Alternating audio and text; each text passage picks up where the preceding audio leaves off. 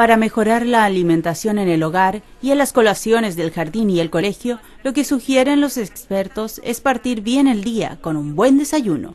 Este debe incluir un lácteo, de preferencia bajo en grasa, pan o cereales y fruta, que puede ser natural o preparada en jugo o macedonia. Es muy importante el desayuno eh, porque es su primera alimentación del día y tienen que llegar con energía al colegio.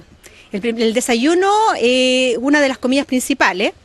Importante que ojalá los niños hagan cuatro comidas diarias y colaciones saludables y el desayuno importantísimo porque necesitan la energía, los nutrientes para poder estudiar y, la energía que necesitan para estar en el colegio en el, en el día. El desayuno es una de las comidas más importantes del día y en el caso de los estudiantes los prepara para los requerimientos físicos e intelectuales de la jornada.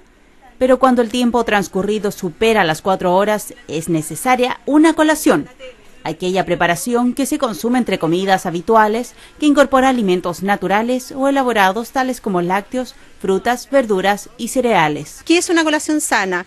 Una colación en base a fruta, ensaladas, eh, lácteos, mm, eh, yogur, leche en cajita puede ser, eh, hay colegios que tienen minutas saludables, de repente en la jornada de primero o cuarto básico, en la jornada de los jardines infantiles, eh, ellos hacen sus minutas del día de la leche, del día de la fruta, de la ensalada, y de esa forma los niños generalmente pueden crear un poquito más el hábito viendo a los otros compañeros, ¿cierto?, con colaciones saludables. Tomar un buen desayuno evitar el consumo de golosinas y bebidas de fantasía y reemplazarlas por agua y jugos naturales e incluir siempre verduras en las comidas, además de predicarles con nuestro ejemplo, son medidas simples que ayudarán a crear hábitos que les recordarán de por vida a los niños la importancia de una alimentación saludable.